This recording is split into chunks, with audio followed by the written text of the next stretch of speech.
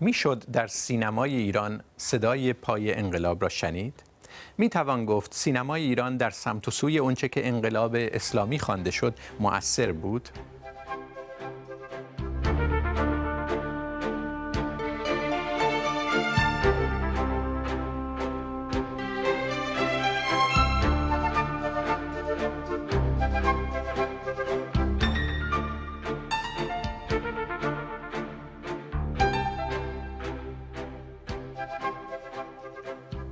سلام من داریوش کریمی هستم گفته می شود نشانه های انقلاب ایران را ممکن بود بتوان در برق چاقوی قیصر دید قهرمانی آسی که ناموس خود را از دست رفته می پندارد و به قصد انتقام جویی قانون را خود به دست می گیرد. اما قیصر تنها یکی از شخصیت های مطرح سینمای پیش از انقلاب بود. چند سال پیش از آن علی بیغم قهرمانی دیگر به دلیلی متفاوت در دل سینما روهای ایرانی جا باز کرده بود. به این دلیل که از اقبال خود راضی بود و خود را خوشبختتر از قارون ثروتمند می‌دانست. سینما ایران برای میلیون ها نفری که تازه به شهرها را یافته بودند هم آینه تلخکامی بود و هم وسیله برای رؤیا پردازی اگر شخصیت های سینمایی نام های آشنای بسیاری از خانوارهای شهری در ایران پیش از انقلاب بودند بیراه نیست از تأثیر سینمای ایران در انقلاب بگوییم. این تأثیر چه بود؟ این موضوع را با مهمان های این هفته در میان می‌گذاریم. حمید نفیسی تاریخ نگار و منتقد هنری آقای نفیسی مجموعه چهار جلدی تاریخ اجتماعی سینمای ایران رو نوشتند. و علی امینی نجفی منتقد هنری و ادبی و همینطور نویسنده آقای امینی هم کتاب روا و ناروا در سینمای ایران رو نوشته. و مخاطبان اونها در پنل دوم گلکو پرهیزکار فیلمساز و تارا داشلو روزنامه نگار. خیلی خوش آمدید. آقای نفیسی هرچه به سمت انقلاب ایران جامعه می‌رفت بیشتر اسیان در فیلم ایرانی دیده می‌شد. درست میگم؟ به طور کلی بله ولی البته مهمه که سینما ایران رو آدم یک سینمای همبسته حساب نکنه. چون انواع سینما فیلم های ایرانی ساخته می‌شد ژانر های مختلف ساخته می‌شد و فکر می‌کنم هر کدوم از این ژانرها به یه طریق خاصی هم انعکاس می‌داد اوضاع احوال مردم رو هم اینکه به اینا شکل می‌داد. این دستبندی رو چطور میشه انجام داد؟ من فکر کنم در واقع معروف ترین این تقسیم بندی هایی که شده بین سینمای محبوب یا عام پسند که فیلم فارسی هم بهش اطلاق شد متاسفانه و یه نوع دیگه فیلم سینمای موج هستش که این بیشتر در از 1969 1970 شروع میشه. در واقع دهه آخر حکومت شاه پهلوی هستش. سینمای فیلم فارسی از اواسط 1950 به اصطلاح چرا میگید متاسفانه وقتی که راجع به فیلم عام. پسند صحبت می‌کنید میگید که متاسفانه فیلم فارسی نام گرفت؟ برای اینکه این یک اسمی است که خیلی استهزا آمیز و محکوم کننده شد. به همین ترتیب که همیشه به صورت یک کلمه نوشته می‌شد. فیلم فارسی نوشته نمی‌شد. بله. فیلم فارسی نوشته می‌شد. برای اینکه اطلاق می‌کرد به یه نوع سینمایی که منتقدین فرنگ رفته مخصوصا کابوسی که هوشنگ کابوسی که اولین بار در واقع این استفاده, استفاده کرده از این اسم رو. اینو به عنوان یک سینمای منفور و پیش پا افتاده و بدون هیچ گونه ارزش هنری. ارزش هنری و یا قانونمندی خاصی ولی تز شما در کتاب چهار جلدیتون این است که این سینما همین سینمای عام پسند فیلم فارسی تاثیر زیادی داشت در شکل دادن به ذهنیت ایرانی پیش از انقلاب و این تاثیر رو فوق العاده مثبت می‌دونید. می‌تونید خیلی خلاصه ما بگید دلیلش هست که شما به این نتیجه رسیدید؟ بله دو تا تاثیر عمده داشت. یکیش این بود که این سینمای فیلم فارسی در واقع به خاطر ساختار ساختارش که از منابع سنتی فرهنگ شفاهی ایران چشم, چشم گرفته بود. این سینمایی بود که تماشاچی ها باش آشنا بودن. با شخصیت های دوگانش آشنا بودن.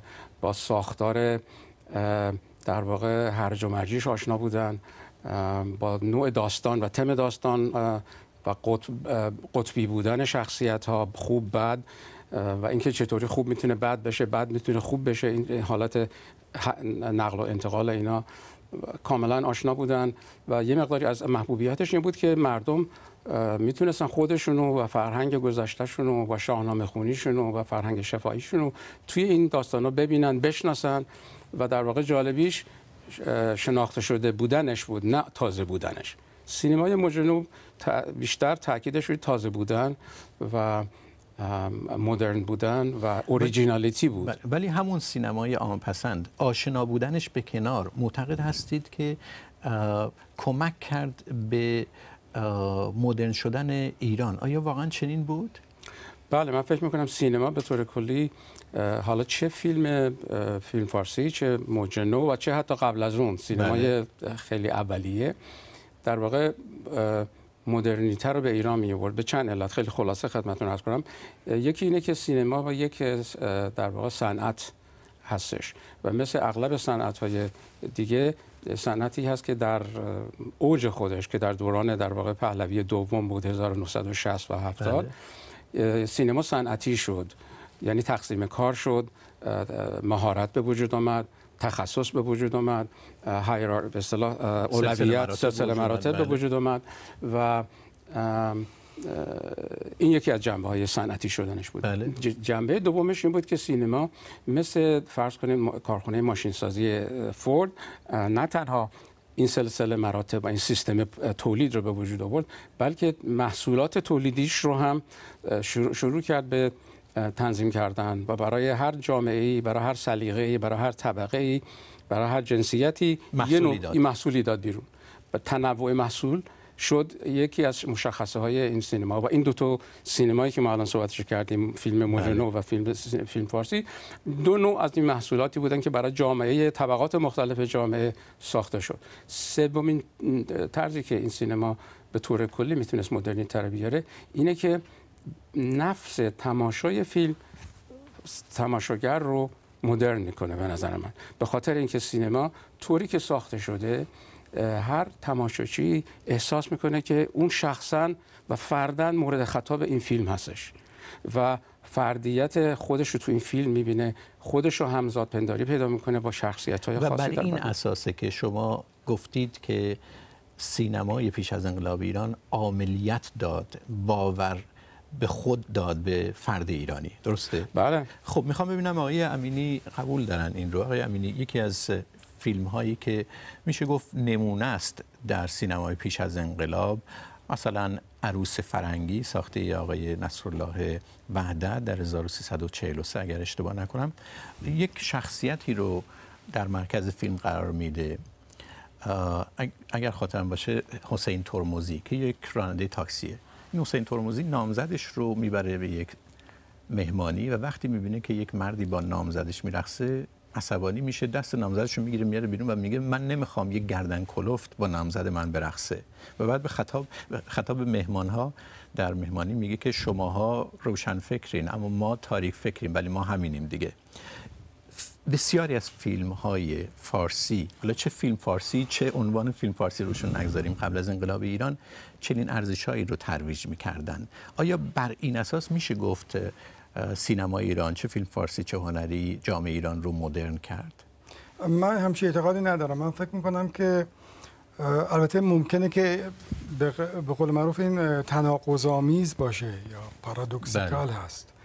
به این معنی که یک پدیده مدرن که وقتی وارد جامعه ایران میشه مدافع ارزش های اتفاقا غیر مدرن ضد تجددی میشه و ارزش های سنتی.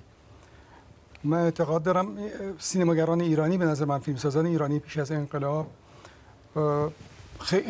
در اون حد هوش و استعداد و ابتکار نبودن که اینو خودشون بفهمن. بلکه اونا مخاطبشون رو میشناختن و می‌خواستن یک جماعت خاصی رو یعنی می‌گفتن که تماشاچی اصلی ما کیا هستن؟ این تماشاگران اصلی به نظر من طبقه فرودست جامعه بودن و عمدتا کم فرهنگ و ضد تجدد. اینا در واقع باز تولید کردن ارزش های فرهنگی همین قشر از جامعه رو. در نتیجه یک پدیده مدرن در خدمت ارزش های ضد مدرن قرار گرفت در ایران. این خیلی تناقض آمیزه ولی واقعیت تلخیه که سینمای ایران حداقل تا سال 1948 باش روبرو بود. یه چیز دیگه که باز من ناچارم با استادم آقای نفیسی مخالفت کنم این است که احساس می‌کنم به سینمای ایران و جایگاهش در جامعه ایران پر بها داده میشه. به نظر من سینمای ایران تازه بعد از انقلاب بود که یک واقعا یک رسانه تودگیر به معنی واقعی کلمه تبدیل شد. نباید فراموش کنیم که لایه های بزرگ اجتماعی قبل از انقلاب سینما رو تحریم می‌کردن. سینما مخصوص ایده خاصی بود. و به خصوص همون فیلم فارسی که شما گفتید اون رو در واقع یه چیز مقوله غیر اخلاقی اگر ندیم غیر شرعی بود تو جامعه و مردم کمتر می‌رفتن واقعا. ولی در همین فیلم فارسی افسون بر اون فیلم هایی که غیر اخلاقی پنداشته می‌شد از جانب بعضی از اقشار اجتماعی در ایران کاباره توش بود نمی‌دونم مینی جوب توش بود. فیلم هایی هم بودن که باب طبع اخشار سنتی بودن. مثلا نزدیک به انقلاب که میشیم سفر سنگ. داستان اعتراض روستاییانی که رهبرشون میگه که قرآن به دست بگیرید و اعتراض کنید یک پارچه سبز هم دور سرش بسته. اینها ضرورتا فیلم هایی نبودن که توسط اخشار سنتی جامعه تحریم بشن نه؟ اینا هم به نظر من ببینید قروان رو نباید به این شکل دید که این فیلم ها آنچنان مثلا تیزهوشانه یا ابتکارآمیز بودن و این اندیشه ها رو به جامعه القا کردن. درست برعکسه. یعنی همون سینما به نظر من همون سینمایی که یک زمانی مبلغ فیلم های جاهلی بود الان برای جذب مردم در واقع دنبال همین ارزش ها میره. تحولی به وجود آمده بود. روحیه تعرض‌آمیز در جامعه خیلی تقویت شده بود. همونطوری که یک زمانی مثلا جنبش چریکی تقویت شده بود. همه جوانان دوست داشتن یه جورایی بزنن به کوه و دشت و اینا. و بعد مثلا در هم بر واکنش به همین در, در درست در همین راستا نه از دیدگاه انتقادی یا اعتراض آمیز فیلمی مثل مثلا گوزنها ساخته میشه.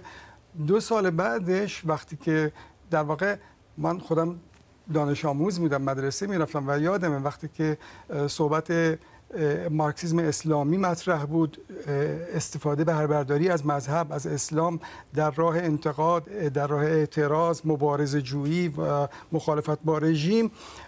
اینها رو همون سینما به نظر من زیرکانه از این ارزش ها استفاده کرد و اونها رو منعکس کرد در سینما. منظور من اینه که این چیزی که شما مطرح کردید رو این سوال رو من یه جوری دیگه می‌بینم. یعنی فکر می‌کنم که سینما نبود. که بلکه... به جامعه نداد بلکه برعکس سینما دنبال جامعه رفت. این discourse به قول معروف این گفتمان هرچی این در حسینیه ارشاد و اینا راه افتاده بود. بله. و فیلم سفر سنگ در واقع یکی دو سال بعد از این جریانات این, جر... این, این ماجراها رو تبلیغ کرد ترویج کرد و باستاب داد به جامعه. به این ترتیب شما در این اینکه معتقد هستید سینمای ایران چه فیلم هنری چه فیلم فارسی در اینی که معتقد هستید که عموما سنت ها رو ورزش های سنتی رو تقویت می‌کنن معتقدید به سمت انقلاب که می اومدیم اسیان جاری در جامعه به یه شکلی در اونا باستاب پیدا کرد. یعنی هر دو این کار کرده رو داشت نه؟ من اصولا فکر نمی کنم که همونطور که عرض کردم فکر نمی کنم که سینمای ایران چنان جایگاه مهمی داشته در جامعه که بتونه چنین تأثیری بذاره. به دلیل روشن که این سینما ما سینما اجتماعی به معنی اصلا نداشتیم. سینما اجتماعی که می‌تونه جنبش اجتماعی رو ایجاد کنه یا تقویت کنه این جنبش ها رو. ما هرگز در کشور خودمون به اعتقاد من سینما اجتماعی نداشتیم ما سینمای سرگرم کننده یا مبتذل داشتیم و یه سینمای موجنو که به ندرت من فیلم یادم اسم نمی‌خوام بیارم. که به ندرت صد نفر رو حتی در جامعه ایران روشن فکر بودم. حتی بله. جوانی بودم موقع دانشجو بودم. حتی صد نفر رو این فیلم ها راضی از سالن سینما بیرون نمیفرستادم. اصلا راجع به تاثیر اجتماعی این فیلم ها صحبت کردن به نظر من یک بحث زایده. بسیار خب اجازه بدید به پنل دو بریم. خانم پریسکار. سوالی که برای من پیش اومد از حرفایی که هم آقای نفیسی هم آقای امینی زدن. اینه که واقعا سازندگان این فیلم های قبل از انقلاب چه کسایی بودن؟ حالا به غیر از فیلم های هنری و روشنفکری فیلم های عامه پسند و فیلم های فارسی رو کیا می ساختن آیا کسانی بودن که خودشونم ارزش های سنتی و مذهبی رو می‌خواستن ترویج بدن و از اون طریق می‌خواستن مردم رو تحرک مردمی رو برانگیز برانگیزن. خب. برانگیزن. یا اینکه آیا از طرف دولت حمایت می شدن و باز از اون طریق می‌خواستن که مردم رو بیشتر به سمت اینجور فیلم ها بکشونن تا فیلم های هنری؟ یا اینکه هیچ کدوم از اینا نبوده فقط داشتن الگوهای موفق و تکرار می‌کردن که مردم بیان فیلم هایی که ستاره های معروف داره و مردم دوست دارن ببینن و نشون بدن. آقای نفیسی. سوال خوبیه. سینما اونهایی که فیلم های عامه پسند رو درست می‌کردن من حیث مجموع بدون تک و توکی مثل مسعود کیمیایی و اینها آدمایی بودن که برای پول درآوردن به سوی این سینما می‌رفتن. و دولت به سینمای بخش خصوصی کمکی نمی کرد در اون موقع. و تمام بودجه که واسه برای تولید کار اینو به کار می بردن از, از سرمایه گذاران معمولی می گرفتن و بانک ها هم اوائل کار حمایت زیادی از سینما نمی کردن که به اصطلاح پول بهشون قرض بدن برای تولید. بنابراین اونا برای تولید کارشون واسطی حتما به بخش خصوصی مراجعه می‌کردن. جالبیش اینه که سینمای موج نو بود اتفاقا که یه سینمای روشنفکری سینمای معلف به اصطلاح بود و اغلب فیلمسازاش هم آدم های درس خونده یه فرنگ رفته بودن و کارهاشون هم یعنی موضوعاتشون هم و فیلماشون سناریوهاشون بر پایه نوشته های نویسنده های خوب ایران مثل غلام حسین ساعدی هوشنگ گلچیری این اینطوری بود. اینها اتفاقا هم منتقد دولت بودن و هم دولت بهشون حمایت, حمایت مالی میرسون و هم فیلماشون رو سانسور می‌کرد. و این رابطه تنگاتنگ خیلی متناقضی به وجود اومده بود بین این نوع فیلم فیلمسازا و دولت. در حالت یه رابطه دولت با فیلمسازای به اصطلاح سینمای عامه پسند حمایت نبود. حمایت نبود فقط سانسور. دلیلش چی بود؟ دلیلش این بود که فیلم های عامه پسند یا فیلم فارسی تبدیل به صنعت شده بود و مخاطب زیاد داشت و نیازی به حمایت دولت نداشت. و خارج هم نمی‌رفت. یعنی چیزی که موجب شد به نظر من دولت حمایت بکنه از فیلم های به اصطلاح هنری موفقیت اونها در سینما در فستیوال های خارج بود. پس کمک می‌کرد که برن به فستیوال ها و کمک می‌کرد که حیثیت برای دولت و برای ایران بیاره. به همین علت دولت به سوی این نوع سینما رفت. و در این حال هم در همون دوره 1970 یه سری سازمان های پیشرفته دولتی به وجود اومدن. مثلا فرض کنید تلویزیون خودش سازمان سینمایی به وجود بود کانون پرورش فکری. پارک کانون پرورش فکری خیلی تاثیرگذار بوده. اینا همش سعی کردن خارج رفته ها رو یا درس خونده ها رو یا حتی مخالفین رو وارد برای اینکه شاید برای اینکه خونساشون بکنن. بله. و شاید به خاطر کارهای بهتری که با ارزشتری که ارائه می‌دادن به سوی خودشون کشون خانم آقدشلو وقتی می‌خوایم به تاثیر اون رو جامعه نگاه کنیم فکر نمی که این خطی که بین سینمای روشنفکری و موج نو و سینمای عامه پسند کشیدین یه خورده این دوتا رو اصلا بیشتر یا زیاد فاصلشون رو می‌کنه یعنی شاید مهرجویی مسعود کیمیایی شاید فیلم های اونا در بین این دوتا این دوگانگی این دو قرار بله. یعنی از جهاتی فیلم هنری از جهاتی واقعا فیلم عامه پسند هستن نه؟ بله بله این دستبندی شما خیلی انتظایی نیست. در واقع فقای کلامشون اینه که بله ما فیلم هنری داشتیم و فیلم مبتذل داشتیم که البته این سوال از آقای امینی شاید بیشتر باید بپرسیم برای اینکه آقای امینی خیلی تاکید کرد که ما فیلم های مبتزل داشتیم. واقعا خیلی تاثیرگذاری اونچانی هم نداشتم و یه تکوتوکی فیلم هنری هم داشتیم. این دستبندی یه ذره انصافی نیست؟ من خواهش می‌کنم آقای نفیسی به این سوال جواب بدم من مایلم به سوال گلکو جواب بدم. بله خب. اگه اجازه داشته باشم بله ادامه بدیم بعد برای که پرسید که اینا کیا بودن که این فیلم ها رو می ساختن ببینید سینما ایران می‌دونید دو بار تأسیس شد به قول معروف. بار البته ایشون تاریخ نویس سینمای ایران هستن ولی با اجازه ایشون من بله. توضیح میدم. بار اول به نظر من آدمای روشنفکر وارد شدن مثل سپنتا و اینا. 1310 زبان رضا شاه بود.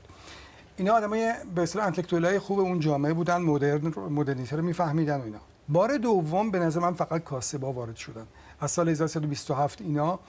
و فاجعه این بود که اینا واقعا فقط به اهل سرمایه بودن. هرگز موفق نشدن. این این نسلی که شروع کردن تأسیس سینما رو از پایه دوباره موفق نشدن. روشنفکران نویسنده های ایران اینا رو جذب کنن.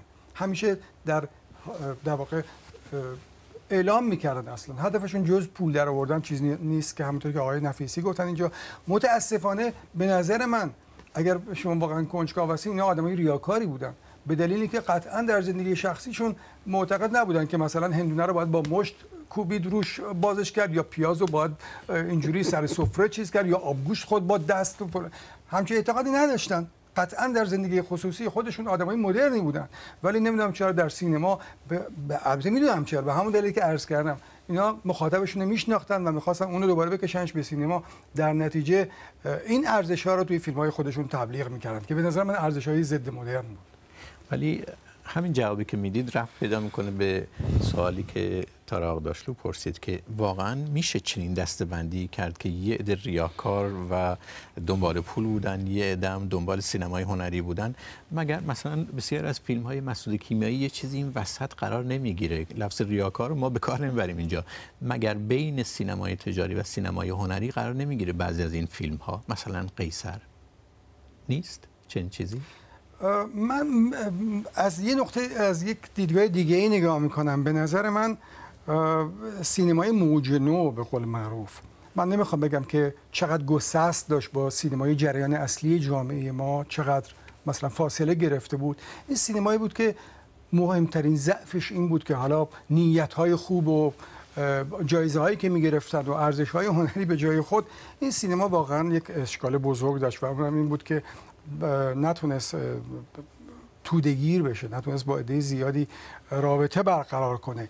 در واقعا چیزای خود و احتمالا در مراحل جنینی واقعا باقی مون شاید اگر رشد می‌کرد می‌تونست مثلا یکی از آخرین محصولات همین نسل از فیلمسازا فیلم بسیار خوب گزارش هست. گزارشی بله. که یارستمی خب اگر شرایط ادامه پیدا می‌کرد یکی از آخرین ها بود. فکر کنم سال 56 نشونش دادن.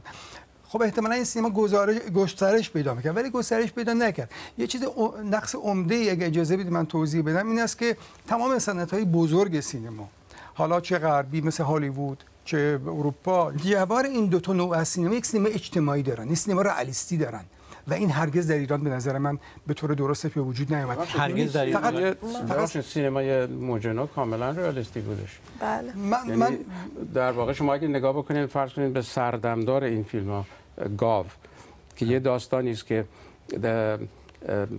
به نظر من به نفع خیلی خوبی ترس و واهمه و بیم امیدی که در جامعه خفقان زده اون موقع ایران وجود داشت رو به نفع خیلی جالبی بیان کرد. مثلا فرض کنین گاو یه مرتبه گاو عزیز مشتسن یه مرتبه ناپدید میشه.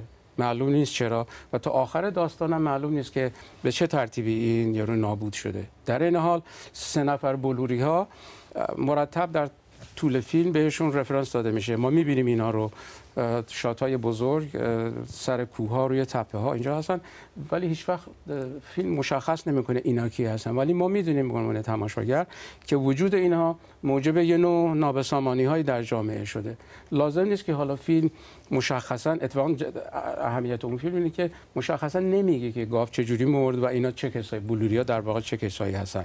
باید اسمشون عوض بلوری ها می‌گفت سیاهی ها بله. ولی به هر صورت به نظر من اون به نحو هم واقع گرایانه و هم به نحوی روانشناسانه. و هم ساخت خوب داشت. و هم ساخت خیلی یعنی اینطوری نیست که سینما ایران در حالت جنینی موند سینمای هنری آره. و بعضی بود که کاشته شد برای بعد از انقلاب. یعنی شهید سالس ابراهیم گلستان کیارستمی اینا خیلی هاشون به خاطر تأثیری که از سینمای نوریالیزم ایتالیا گرفته بودن بله. و در طول سالهای گذشته حالا صنعت سینما به هر نوعی به صورت یک حرفه و یک فن رشد کرده بود. بله، درسته. و بعد از انقلاب در واقع اون پولی که رفت توی سینما اجازه داد که این شکوفا بشه. منتها آقای نفیسی من فکر نمی کنم آقای امینی اینجور فیلم ها رو نادیده بگیره ولی برگردیم به این تز اصلی ایشون که معتقد هستن اگر هم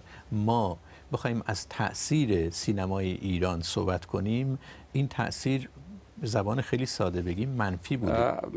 من تا اندازه به حرف ایشون موافقم و تا اندازه کاملا متفاوت.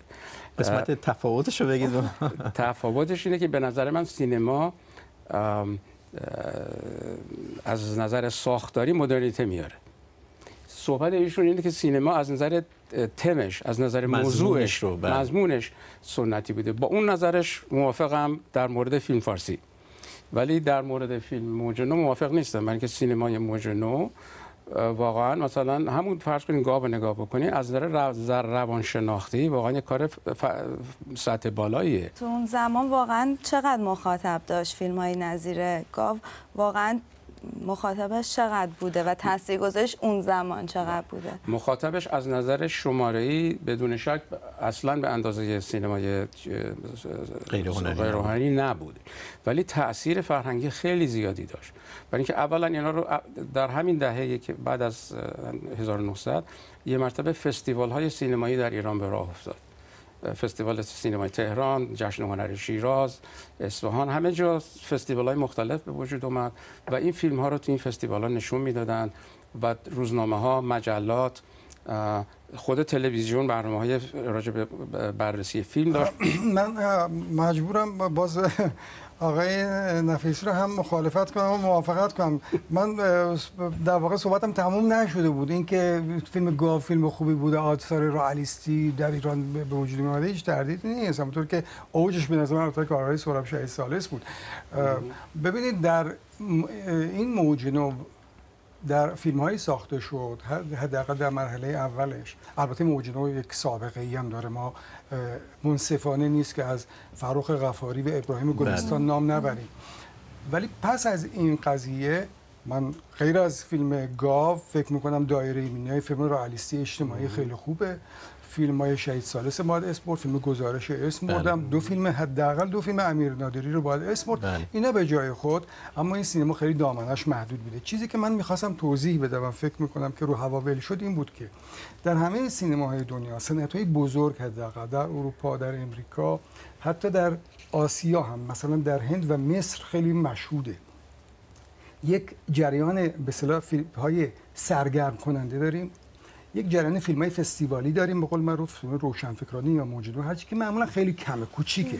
در, در در سینما ایران این خیلی به شکل غیر متناسبی رشد کرده.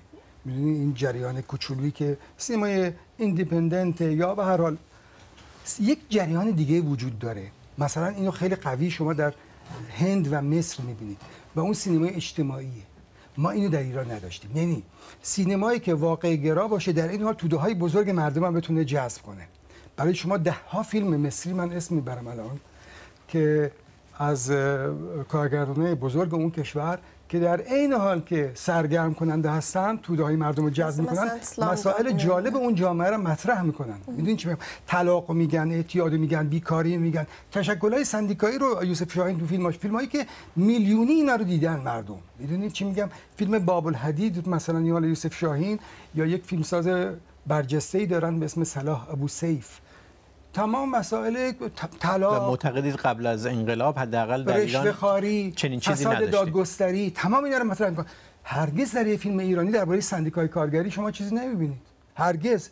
یه فیلم ایرانی به من نشون بدید درسته. گاو فیلم بسیار خوبیه بسیار تاثیرگذاره یه فیلم به من نشون بدین که مناسبات طبقاتی مالک و رعیتی رو در یک روستای ایرانی به درستی نشون داده باشه. کدوم فیلم اینجوری کرد ما نداریم چنین بله. چیزی. خاک. به نظر من خاک داستان حسینه بابا صبحان اه، دولت آبادی رو مسخ کرده بود همونطوری که به موقعش در زمان خودش دولت آبادی اعتراض کرد به این موضوع مو- بله. برای اینکه اصلا مناسبات روستایی رو نشناخته بود اون کارگردان. به نظر من ما این این و این موهبت خیلی بزرگیه که یک ملتی بتونه سیمای خودش رو در سینما ببینه. مشکلات ببینید راجع به پایان جنگ بازگشت از جنگ جبهه جنگ. ما چقدر در آمریکا فیلم داریم؟ همین فیلم سینمایی که معروف به هالیوود که فقط رؤیا سازی می‌کنه. درباره جنگ جهانی دوم جنگ کره جنگ ویتنام جنگ حتی این جنگ عراق. ملتی که از جنگ برمیگردن. یعنی از از فیلم معروفی که شما حتما خیلی خوب می‌شناسید بهترین سالهای زندگی ما ویلیام آیلر بگیرید تا همین فیلم های آخری که خانم این بیگلو ساخته. بازگشت. معتقد هستید چنین سینمای اجتماعی چنین سینمای ما هرگز در ایران متاسفانه نداشتیم. ولی سینمای ایران شما دارین با سینمای هالیوود مقایسه من با سینمای مصر مقایسه کردم خانم. خیلی صنعت نوپاتری من میگم با سینمای مصر داریم در برابرتون. سینما تفاوتش با هنرهای دیگه صنعت دیگه هنری چطور می‌بینین؟ آیا تو حوزه های دیگه هنری خیلی جلوتر بودیم؟ تو سینما یعنی عقب‌تر بودیم انتظارات زیادی از سینمای ایران یا ایشون دارن. یا به نوبه خودش داشته مسائل اجتماعی هم شاید حتی تو اون فیلم های فارسی هم به یه, یه جور ناپخته بیان می‌کرده. مثلا همون چیزی که شما اول برنامه اشاره کردین به رد پای انقلاب. بله. آیا یه سری از فیلم فارسی ها اون آرمان خواهی که اون زمان بوده. یه جور آرمانگرایی که اون زمان منجر به یعنی تو انقلابم بود بیان می‌کردن تو این, این نظریه که پرویز دوایی هم داره منتقد معروف سینا میگه حتی اگر ارزش این فیلم ها خیلی بالا نبود ولی این فیلم ها بیان کننده اون چیزی بود که در جامعه ایران میگذشت و از این جهت طبقه با ارج هستن. چنین نیست؟ ببینید من درباره انتظارات من نمی‌خوام بگم که من میگم واقعیت رو بشناسیم. چه چیزایی داشتیم و چیزایی. فکر اون چیزی که نامیده است ها اون جایی بودنده نذاریم. اون چیزی نیست که ما داشتیم. ما اسمش رو می‌بریم. ما موجنوی به اون معنی واقعا نداشتیم. این که شما میگید من گفتم جنینی روش تاکید می‌کنم. شاید اگر ناصر تقوایی امکان می داشت و فیلم مثلا آرامش در حضور دیگران. به موقع روی اکران می اومد ناصر تقوایی در دوره بعدی فیلمسازی خودش فیلم های اجتماعی نیرومندتری می ساخت. تردیدی در این نیست. ولی ما با اگرا متاسفانه سر کار ما, ما محصول کار رو می‌بینیم بله. که الان اینجوریه. بفهمید خود شما یه مسئله رو مطرح می‌کنین که خیلی در مورد این صحبتی که داره می‌کنین تاثیر می‌ذاره و اون چیز ساختار سانسور در ایران هست که که کمک می‌کرد که موضوعات خاصی فقط مورد بحث قرار بگیره و یه سری موضوعاتی اصلا مطرح نشه. یکی از دلایل اینکه سینما ایران به اصطلاح این جور کارا رو انجام نداد این جور کارهای اجتماعی رو انجام نداد اون بود. از یه طرف فیلمایی بودن که چیزای اجتماعی هم داشتن و خیلی هم عامه پسند بودن و خیلی هم معروف شدن. نمی‌دونم دورش که چی فرض کنید. نمونهش قیصر نمونهش نمی‌دونم گوزن ها نمونه خیلی یعنی تعداد زیادی هست به نظر من. نبایستی آدم دوباره تاکید می‌کنم کاتگوریکال صحبت کنه که فیلم, فیلم اجتماعی ما نداشتیم اصلا. در این حال نگاه بکنیم به تمام تولیدات کانون پرورش در اون مدت. هیچ سینما یه جای دیگه در خاورمیانه یا در جای دیگه. این این فعالیت و خلاقیت این کانون رو نداشت. حالا و اینکه اینکه آدم میگه ما فیلم اجتماعی نداشتیم و مصر داشت این من نمی‌دونم معنیش چیه واقعا. و چی رو شما می‌خواین بگید یعنی باید به دلایلش نگاه کرد. چرا در ایران فیلم اجتماعی به وجود نیامد؟ چرا در ایران در این حالی که اون نوع فیلم ها نبود یه سری فیلم های خیلی جالبه دیگه پیش اومد. راجع به اونها حرف بزنیم. یعنی اینکه نمیشه همش گفت که ایران فیلم اجتماعی نداشت. شما معتقد هستید در مجموع سینمای ایران کمک کرد به اینکه انسان ایرانی به قول خودتون به خودباوری برسه. لفظ عاملیت رو گاه استفاده کردی در کارهاتون و اینجا از لفظ پرورش فردیت استفاده کردین. این درست عکس چیزیه که آیه امینی میگه. میگن که تنوع سینمای ایران به جز تک و توکی فیلم های هنری که میگن خیلی هم مخاطب نداشت واقعا شده بود محل ترویج ارزش های سنتی. شما این رو به شکل تقابل بین مضمون و ساختار توضیح دادید. ولی واقعا این توضیح خیلی رسان نیست. منظورتون چه هست؟ والا در سینمای به خصوص به خصوص سینما فیلم فارسی یه نوع دو قطبی دو قطبگرایی به وجود اومد که یه قطب ده بود قطب شهر بود. طبقه پایین بود طبقه بالا بود. زن بود مرد بود. ایرانی بود فرنگی بود. و اینا همیشه در, در تقابل با هم دیگه بودن. و بعضی اوقات و یه سری افرادی هم بودن که عوامل انتقال از این قطب به اون قطب بودن. دختری از دهاتی از, از, از, از ده وارد شهر میشه. سر از کابره در میاره و خواننده میشه. بله. این از این قطب پریده به اون قطب فرض کنید خب. و همیشه سینمای ایران سینمای فیلم فارسی ایران قطب سنتی رو در, در آخر ترجیح میده به قطب به قطب مدرن.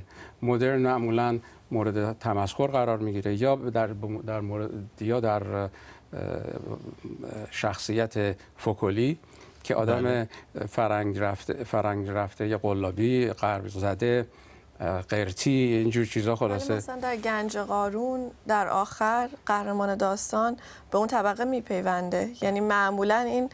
راه اتفاقا به بالا بازه و به اون می‌رسه. از طبقاتی کاملا موافقم. خیلی اوقات اینطوری میشه که با از طریق ازدواج یک کسی از طبقه پایین یا از ده می‌تونه سر در بیاره به از طبقه بالا و به همچنین یه آدم بعد یه خانم بدکاره یه زن فاحشه آب توبه سرش میریختن به قول اون فیلم ها با یه مرتبه می‌شد یه زن خیلی محترم. ولی خود این تقویت کلیشه ها نبود و آیا نوعی میدون دادن به رؤیا پردازی کاذب نبود. احتمالاً چیزی که نظر آقای امینی رو تقویت می‌کنه. نه چه چرا منم موافقم آقای نفیسی هم خیلی هست. در توضیحی که دادن ما خیلی به نظر جنبه ها در توافق کامل هستیم. اون چیزی که فقط من می‌خواستم تاکید کنم راجع به اون سینمای موج نو که جنبه های رالیستی شوشون تاکید می‌کردن به نظر من اونا هم خیلی کلیشه بوده یعنی من اون دیوار چین رو همون چه گفتید بین سینمای جاهلی یا فیلم فارسی اونجا که گفتید و موجود واقعا قائل نیستم. اینا رو باید یه به اصطلاح دیگه براش پیدا کرد. یا اینکه به حال این به گفتن نگاه کاتگوریک اینه یه جوری بالاخره نگاه باید... مطلق نگاه آره این واقعا اینجوری نیست. برای اینکه مثلا یه بار دیگه هم توی صحبتاشون تاکید کردن از قیصر به اسم یک فیلم رئالیستی اسم بردن من تعجب می‌کنم واقعا. فیلم قیصر به هیچ من تو همون محیط بزرگ شدم. قیصر به هیچ فیلم رئالیستی نیست. نه محیط رئالیستیه به نظر من نه آدم رئالیستیه محیط تمام کلیشه است. یعنی از اینجا و اونجا است. یعنی مرجع این. ما به ازای این تصاویر واقعیت خارجی اون بازارچی آب منگل و نمی‌دونم میدون شاپور و اینا نیست بلکه فیلم های مختلف دیگه هستن اینا رو به هم چسبونده و از اینا ساخته. خود قیصر هم انسان واقعی با گوشت و خود مثل این ترمیناتوره. یعنی آدم یک ماشین انتقامه. قیصر اصلا شخصیت واقعی نداره. به هیچ وجه من نمی‌تونم یادمون بپذیرم. ولی موقعی که من دبیرستان می‌رفتم قیصر رو دوست داشتم موهام قیصری زده بودم. ولی الان نگاه می‌کنم اصلا نمی‌تونم قیصر رو بپذیرم خب، باورش خب, خب الان بذارید کنار. همین روی این متمرکز شیم. وقتی شما خودتون نوجوان بودید تاثیر زیادی از قیصر گرفته بودید. به این ترتیب نمیشه گفت این نیست مثل نسل خب تو کلاسمون دعوا من طرفدار گاو بودم. این نشان چه هست؟ نشان تاثیرگذاری سینمای ایران نیست. این شخصیت ها این تم ها این فضاها در زندگی ایرانی ها نقش پیدا نکردن. کاملا درسته. مسئله دامنی اینه. ببینید ما همه بذاریم یه خورده بدیهیات صحبت کنیم. انقلاب محصول فراوردی عوامل ذهنی و عینی خیلی بیشماریه. وقتی میگیم عوامل ذهنی خب پدیده ها و مظاهر فرهنگی جامعه هم جزو این عوامل سینما ایران یکی از اینا بوده. من گفتم من به اعتقاد من سینمای ایران تازه بعد از انقلاب بود که یک رسانه تودگی بله. شد. اون موقع واقعا دامنه گسترشش محدود بوده. خیلی از خودم من زاده و بزرگ شده جنوب شهرم و می‌دونم که خیلی از همسایه های ما هم محلی ما سینما نمی‌رفتم خانواده من خود من کسی سینما نمی‌رفت. خودم یواشکی سینما می‌رفتم. بنابراین دامنه گسه در حال حال که من خودم شخصا در انقلاب ش... یعنی جزو نسلی بودم که میشه گفت از فعالان انقلاب بوده. ولی ما هرگز فکر نمی کنم کسی تحت تاثیر سینمای ایران به انقلاب پیوسته باشه یا مثلا دارای اندیشه های انقلابی شده باشه. ولی یه با حرفتون موافقم. ولی یه چیزی جالب در مورد سینما ایران هست که من فکر می‌کنم به نحوه ای که انقلاب راه خودش رو پیدا کرد کمک کرد. و اون اینه که در دهه 1970 اینها اوریانی در سینمای در فیلم فارسی خیلی زیاد شد. نه تنها در رقص و آوازی که وجود داشت بلکه بر نوع نگاه مردانه که به زنها می‌شد. در چون به دو ترتیب. یعنی که زنها معمولا تو کاباره ها برای تماشاگران مرد میرقصیدن. یه یه یه, یه تماشا یه نگاه مردانه تماشاگران تو خود فیلم بودن. یه نگاه مردانه هم اونطوری بود که دوربین زنها رو فیلم برداری می‌کرد ازشون برای جامعه بیرون بر تماشاگران بله. تو سینما. یعنی مردهایی که در فیلم زنها رو نگاه می‌کردن و مردهایی که در بیرون از فیلم در سالن داشتن فیلم رو نگاه می‌کردن آره و نگاه بله. مردانه دوربین بله. که زنان رو جز به جز به صورت نقاط سوق جیشی جنسیشون رو تاکید می‌کرد روش کلوسپ از لبش می‌گرفت از باسنش می‌گرفت از بله. سینه هاش می‌گرفت و به این ترتیب این تیکه تیکه زن تیکه تیکه به صورت تیکه های جنسی در میامد و در ذهن عوام تعداد این فیلم ها اینقدر زیاد شد در اون موقع که خیلی برای مردم باعث تعجب شد و علاوه بر اون موج سیل فیلم های خارجی ایتالیایی و امریکایی در واقع نیمه پورنوگرافیک بود که وارد ایران شد به طوری که روزنامه هم هدلاین خب. داشتن که واکنش به این فیلم ها آیا واکنش به ظواهر و مظاهر مدرنیته اگر بگیم عقیم یا مدرنیته وارداتی نبود این نوع فیلم ها چه واکنشی اون وقت ایجاد کرد؟ همین خیلی به نظر من واکنشش این بود که یه نوع معادله به وجود اومد در ذهن مردم بین سینما و فساد. یعنی سینما به طور کلی عامل فساد شد و مخصوصا زن شد عامل فساد. یعنی چیز خیلی وحشتناکش این بود که زن به عنوان یک کسی که خودش ویکتیم قربانی قربانی سیستم مرد سالارانه و نگاه مرد سالارانه بود تبدیل شد به عامل این این این فساد. و به همین علت هم اول به حساب من حداقل یه سوم سینما ها 180 تا سینما در ایران سوخته شد. چرا؟ به خاطر این این معادله که به وجود اومده بود در ذهن مردم. بله. دوم اینی که بعد از انقلاب لازم بود که به خاطر این تصویر پردازی که از زنا شده بود پاکسازی بشه. و یه مرتبه زنها محجبه بشن و دیگه حرکت نکنن حرکت تون نکنن همیشه بشینن با وقار باشن موقر باشن بله. فلان از یعنی شما میگین که اون واکنشی که بعد از انقلاب به وجود من فقط یعنی فقط در واکنش به اون سینمای پیش از انقلاب یا نه اونم باز یه جور مرد سالاری باز به دستش گرفت گفت حالا که حالا که ما سر کار هستیم حالا شما فقط باید تو چارچوب صورت و تو چارچوب چادر نمایش بدین نحوهی که انقلابیون با سینما رفتار کردن به خاطر عکس عملی بود که به, به اون نوع انحراف و فساد در سینما می‌دیدن. و کاملا حرفتون درسته که مرد, سالان مرد سالاران بودن رژیم بعدی هم ساب یعنی فقط عکس عمل به سینمای قبل نبود که زنها رو به اصطلاح فرستاد تو خونه و نگاه به اونها رو کاملا یعنی سینما بعد از انقلاب کاملا برای یه دهه یک سینمای مردانه شد. نگاه هم مردانه بود. ولی جالبیش اینه که یه مطالعه می‌تونم یه چیزی بله، بگم؟ بله. یه مطالعه انجام داد آقای چیز از خیلی نظر جالبه. 610 تا فیلم سینمایی رو از نقطه نظر حرفه زنا نگاه کرد. از 1969 تا 1978 حالا توجه بکنید تعداد فیلم ها رو ببینید چه چیزی وحشتناکی در میاد. از 610 فیلم 55 تاشون خانه بودن. شغل زنا خانه دار بود. دانشجو و محصل 4 تا. رقاص و خواننده 52 تا. فاحشه 22 تا. نویسنده و هنرمند 8 تا. کارگر کاباره 10 تا. کارگر معمولی 16 تا. بیکار و سرگردان 15 تا. صاحب زمین یا صاحب کار زن 7 تا. خانم اداری 4 تا. پرستار 5 تا. معلم 6 تا. دیگرم 16 تا. بله. حالا جمعا اگه حساب بکنین 84 فیلم خواننده و رقاص و فاحشه و کارگر کاربار است. چند تا معلم و دانشجو و محصل و اداری و پرستار هستن 33 تا. بله. و معتقد هستید این یه واکنش ایجاد کرد و این واکنش رو در انقلاب دیدیم ما؟ و اینکه بله و اینکه این سینمای اون موقع نق... که نقش... نقش زنی رو به وجود, به وجود آورد که واقعیت با واقعیت رابطه زیادی نداشت.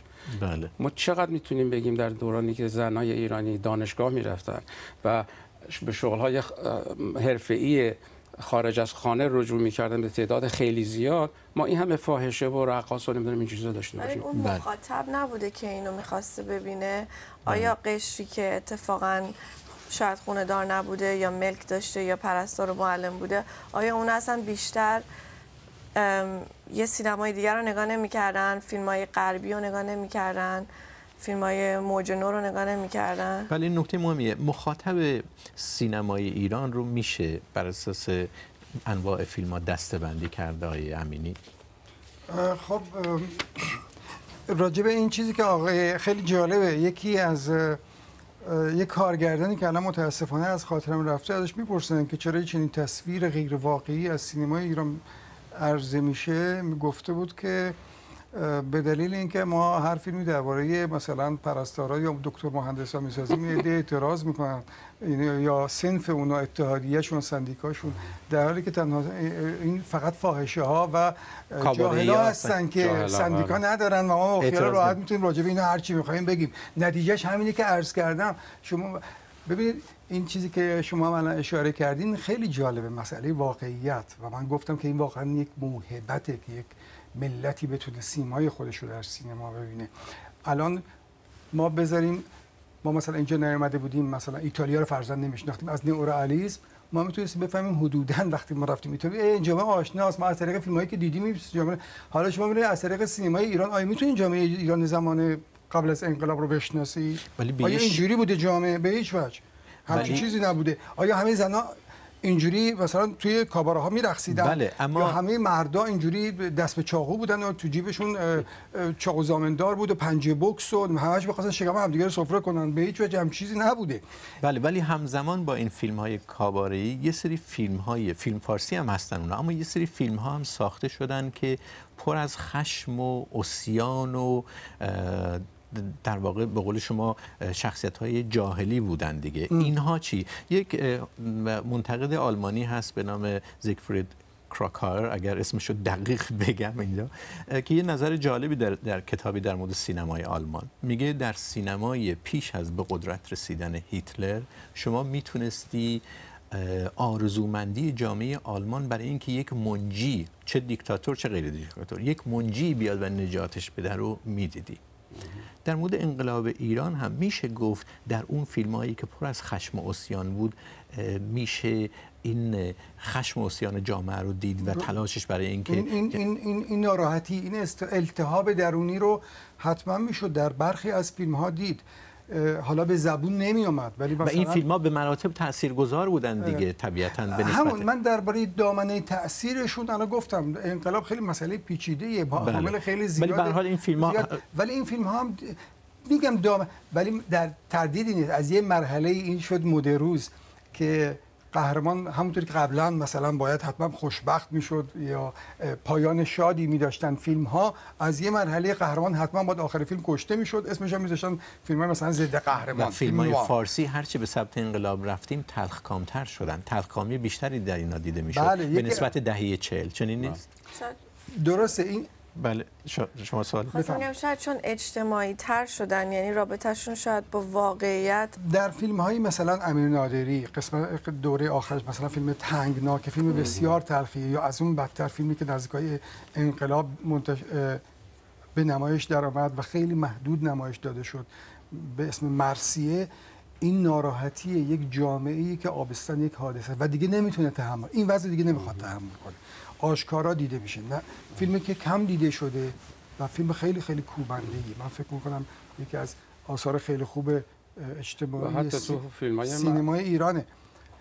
ولی اون خشمی که شما میگین کاملا تو اینها هست این تقیان هست. ولی آیا این مثبت بوده؟ من روی اینش یه مقدار حرف دارم که اینا آیا می‌تونستن واقعا بیان مدرنی مثلا داشته باشن؟ البته بین بین مدرنیته و مدرنیسم ولی فاصله برای اینکه. مثبت باشن این فیلم ها تاثیرگذاری اجتماعی مثبت داشته باشن حتما باید بیان مدرنی داشته باشن یا نه, نه. مهم اینه که بیانی داشته باشن که عام فهم بشه. یعنی سفر سنگ عام فهم بود دیگه. نه من توی مسئله همون خشمی که شما بگین انگیزه های این خشم این مقدار حرف دارم. این خشم خشم فردیه یا جنبه های اجتماعی داره جنبه های آگاه بخش داره یا رهایی بخش داره. به نظر من چنین وضعی نبوده. یعنی خیلی خشم خون خورده فشرده شده در خوده. بغض بیشتر تا خشم. به نظر من برمیگرده به پیشینه اینجور خشم ها در همون سینمای جاهلی تا حد زیادی. یعنی سینمایی که میاد تبلیغ می‌کنه که غیر از غیرتت با هر قیمتی حتی با خشم و خشونت و چاقو زامندارم باید دفاع بکنی. و خون در برابر تجاوز. من با این با هیچ گونه مطلق گرایی موافق نیستم در هر زمینه. در مورد فیلم های و می‌تونم بگم که مثلا در مورد در مورد سوال شما که خشمی که در این فیلم ها وجود داشت آیا بیانگر خشم مردم بود یا نه؟ من فکر می‌کنم در دورانی که از خفقان کامل در جامعه وجود داشت و هیچ کس به هیچ کس اعتماد نمی کرد و ترس از این بود که هر حتی تو خانواده آدم هم افرادی باشن که معمور باشن گزارش بدن از این حرفها و خود دولت تبدیل شده بود به بزرگترین جاهل بزن بهادر کاملا تک در مملکت. یه مرتبه فیلم های جاهلی عوض شدن تا اندازه. حتی حرفی که شما می‌زنین کاملا درست. این انتقام های شخصی یه نوع خانش اجتماعی پیدا کرد یعنی چون اینا اعتماد نداشتن به دستگاه دولتی بله که بیاد دستگاه دولت. نمی اومد که عدالت دادگستری بکنه و به به بد- بدبختی و دردسر و غم مردم توجه بکنه. و به همین دلیلی که فکر می‌کنید قیصر قانون رو خودش به دست می‌گیره بله، بسیار خوب. آره. فکر می‌کنم این پایان خوبی برای برنامه. به آخر برنامه این هفته پرگار می‌رسیم. ممنون از شما که این بحث رو دنبال کردید و همینطور از مهمانهای برنامه. حمید نفیسی علی امینی نجفی گلکو پرهیزکار و تارا آقداشلو. از طریق وبسایت ما به آدرسی که روی صفحه ظاهر شده می‌تونید برای ما ایمیل بفرستید. در همین وبسایت نسخه تصویری و همینطور پادکست یعنی نسخه صوتی برنامه ها در دسترس شماست. و اگر گمان می‌کنید چیزهایی ناگفته مونده و دوست دارید همین بحث رو ادامه بدید به فیسبوک ما سری بزنید. شب و روز بر همه شما خوش.